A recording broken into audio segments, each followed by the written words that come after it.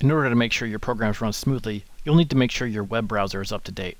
For Chrome, you'll need at least version 83 or 84 to make this happen. Select the three dots on the top right and access the Settings menu.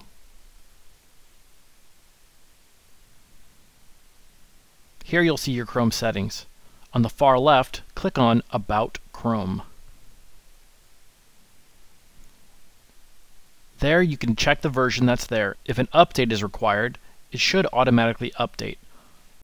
If you don't see the About Chrome, select this menu on the top left, and then select About Chrome. If it doesn't automatically update, you might see this screen here, where it asks you to check Chrome OS settings. Click on that link. You'll then see this page. You can see the version here. Once the update has been installed, select Relaunch, and your Chrome browser will relaunch with the updated version. After a short time, the Chrome browser window will open again, and you can verify that the most recent version has been installed.